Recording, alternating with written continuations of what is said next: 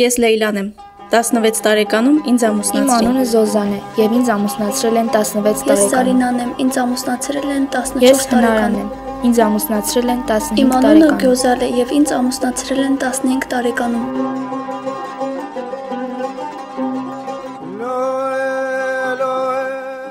Այս կանանց կապում է այն, որ նրանք ամուսնացել են ոչ իրենց կամքին համաձայն։ Նրանց ամուսնացրել են։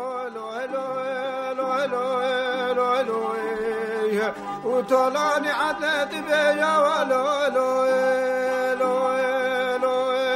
لو لو 15-ամյա Զոզանը սովորում էր 9-րդ դասարանում։ Երազում էր բժշկուհի դառնալ։ Զոզանին նշանեցին եւ դրանից հետո այլևս դպրոց չգնաց։ Զոզանը պատմում է, որ իր ընտանիքի անդամները չեն թողել դպրոց գնա։ Նրանք պատճառաբանում էին ասելով. նշանված աղջիկը ամոթ է որ դպրոց գնա։ Ասում էին, որ մի եզդի տղան կուզի, որ իր նշանածը դպրոց գնա։ Պատմում է Զոզանի մայրը։ Իսկ ես ռայրս դպրոցից հանել տվեց աղջկաս։ Ոչինչ չկարողացա ասեի կամ անեի։ Այդպես էին որոշել, որ պետք է աղջկաս ամուսնացնեն, բայց երեխաս շատ էր նեղում։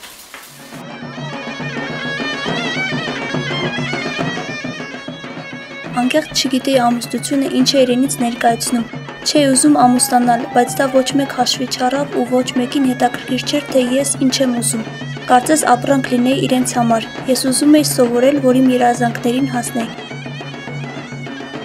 Ուրիշ ճար չունեի, պետք է ամուսնանայի, որ մերոնց սրտով լինի, որ հանկարծ ամոթով չմնան բոլորի մոտ։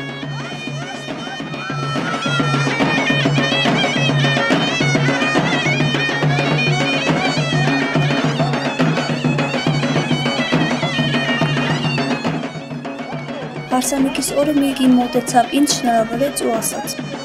Զոզանջն չարն դե տեդանեմիր, վր դու սալաշունդակի իդե բհատը տե բխաստա։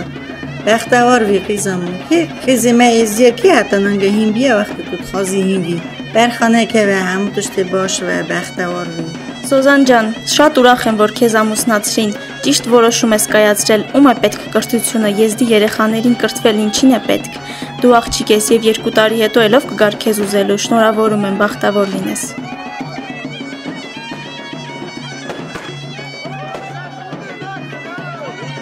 Այդ ժամանակ հասկացա, որ վերջ, էլ ոչինչ փոխել չլինի, իմ երազանքը մնաց անկատար։ Ես նույնպես դարձա այդ սովորույթի անիրավ զորը։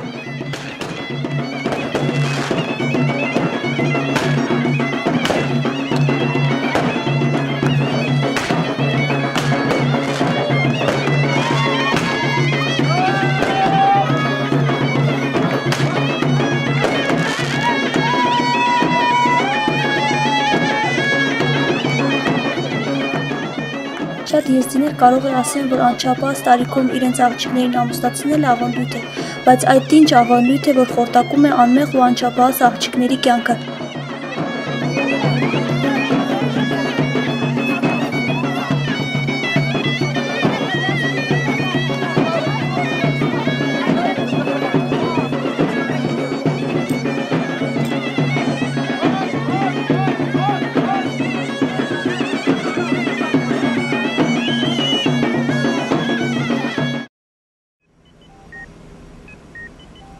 Ամուսնությունից հետո կյանքս ավելի բարդացավ, ընկա ծանր ու բարդ հոգսերի տակ։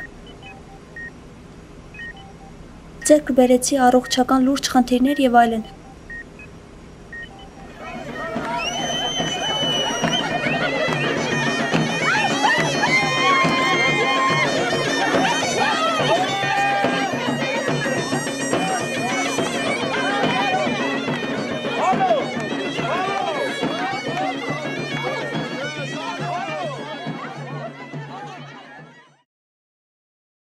Խազալն 8 տարի կողքիս էր նստում։ Դասարանում ամենալավ սովորողներից էր։ Նա ինձ օգնում էր լուծել մաթեմատիկական բարդ խնդիրները, ես էլ իր համար շարադրություններ էի գրում։ Խազալը երազում էր տնտեսագետ դառնալ։ Նա երբեք չէր բացակայում դասերից, սակայն այնպես ստացվեց, որ նա մի շաբաթ դասի չեկավ։ Որոշեցի վերջապես իրենց տուն գնալ, որովհետև տեսնողներն ասում էին, որ նա անտրամադիր էր եւ մտածրիվ։ Դասերից հետո իրենց տուն գնացի։ Իրենց տանը կարծես թե խնջույք էր։ Ես հերվից տեսնում էի ամեն ինչ։ Տանը շատ մոտ չգնացի։ Խիզամն բախտավարվի սեր բալգիկի կոլվն պիրվն Բերխանեքե վե համ դուշտ զավ բոշվե Բախտակի ռնջիատես Վերջապես տեսա Խազալին։ Խազալը տխուր էր, աչքերն էլ խոնավ։ Շուրջը հավաքված մարդիկ ուրախ էին, չէին նկատում իր տխրությունը։ Համբուրում էին իր ճակատը։ Նրա դիմաց կանգնած էր մոտ 25-ից 27 տարեկան տղամարդ։ Նա դանդաղ ու մեծ հոգատարությամբ Խազալի գլխին քաշեց կաթնագույն պսպղան շալը եւ նույն հոգատարությամբ իր մատին մատանի դրեց։ Ես 27 տարեկան տղա եմ եւ պետք է ամուսանամ 16 տարեկան աղջկա հետ։ Դա ասել են իմ ծնողները եւ ես ոչինչ չեմ կարող անել։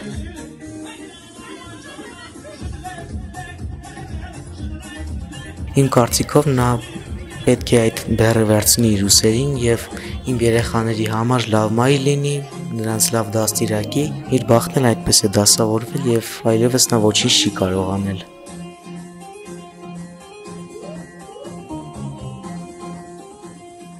Ղազալն աննկատ հեռացավ այդտեղից, եւ ես այդ օրվանից այլևս չտեսա նախքին շատախոս ու ուրախ ընկերուհուս։ Նա աշխատում էր դուրս չգալ տանից եւ խուսափում էր մեզ հետ շփվելուց։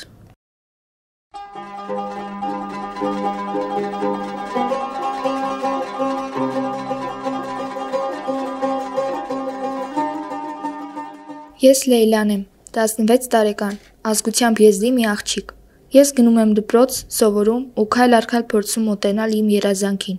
Մինչև այն պահը, երբ ծնողներս որոշեցին ինձ հանել դպրոցից ամուսնացնելու նպատակով։ Այդ պահից սկսած կարծես երկինքը գլխից շուռ եկավ, ու իմ երազանքները ինձ համար անհասանելի դարձան։ Ես ամեն կերպ փորձում էի ծնողներիս հետ պահել այդ մտքից, բայց չէր ստացվում։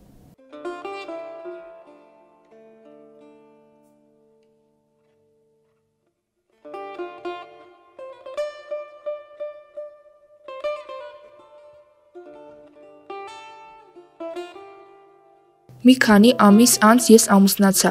բայց այս ամուսնության վերաբերյալ իմ պատկերացումները բարեբախտաբար չիրականացան։ Ինձ հաջողվեց գնալ իմ երազանքի հետևից։ Ես ավարտեցի բժշկական համալսարանը եւ դարձա հայտնի ու վստահելի սրտաբան։ Ամեն ինչ լավ վերջաբան ունեցավ։ Միայն թե ես չկարողացա առաջվա պես վստահել իմ ծնողներին։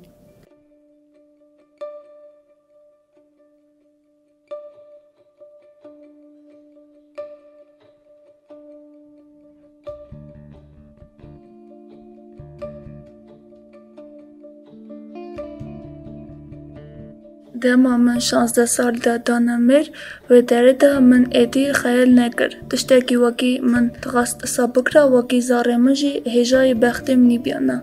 Սալ դերբասպուն վակի դվինում դեբավեխա պրսեկի մն դնալինը։ Չմա մն դանամեր, վակի մն զարոկ բու ու տշտվամ նետկր։ Մն տղաստ ամրի խոդա սաբկրա վակի جفای نکشینن و هیجای بختی من نبن. من دفرند وکی خیال من ساروکی من بینن سری. بزار من جی هیجای بختی من کرن من تشت نکار بو بکرا. جمع کس نا پرسه چه دخواسته جن. گشک دفکرن وکی جن تنه گرگش قلی مالی بکن. دما من اش ها زار من اش تکشینن. لی از تشت نکارم بکم. چاخیدن یا نه از هندا بکم البته خو دوره بیستیکی دا Դաուր վակի նկարն ժն նկարն ժանախաշ բշին Երբ 16 տարեկանում ինձ իմ կամքին հակառակ ամուսնացրին, ես դադարեցի այդ օրից երազել։ Ես չունեի ոչ մի նպատակ կյանքիս հետ կապված։ Միակ բանը, որն ուզում էի, գոնե կարողանամ երեխաներից հետ պահել նման մանկապղծությունից։ Տարիներ են անցել, բայց երբ նայում եմ ծնողներիս, մի հարց է ինձ տանջում, թե ինչի ինձ ամուսնացրին, երբ ես ընդամենը 16 տարեկան երեխա էի։ Ես չէի ուզի երբեք երեխաներս էլ այդ ամենի միջով անցնել։ Ես մտածում էի, որ իմ անկատար երազանքները երեխաներս կկարողանան իրականացնել եւ ես կկարողանամ հպարտանալ իրենցով։